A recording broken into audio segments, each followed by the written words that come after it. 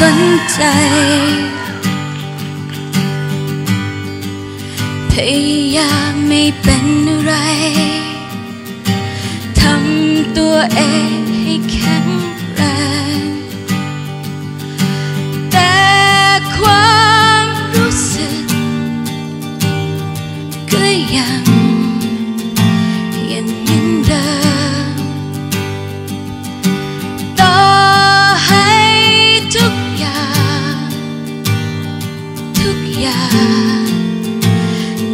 ลี่ยนไป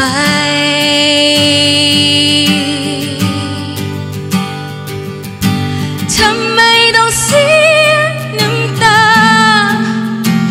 ยังไงได้กับเรื่องเดิมๆรู้สึก ไม่เข้าใจตัวเอง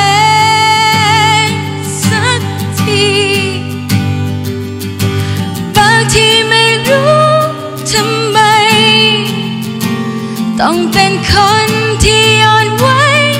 ทุกที ร้องไห้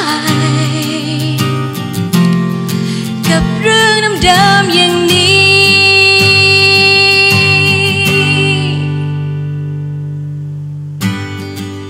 พยายามดูแลตัวเอง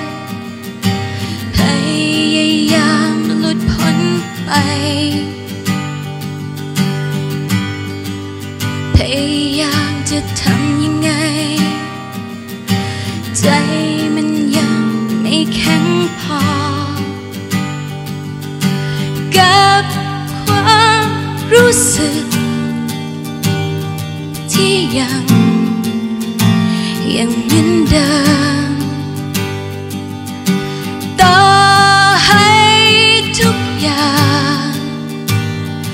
ทุกอย่าง จะเปลี่ยนไป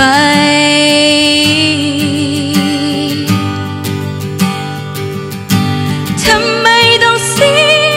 น้ำตา ยังไงได้กับเรื่องดิมๆรู้สึก ไม่เข้าใจตัวเอง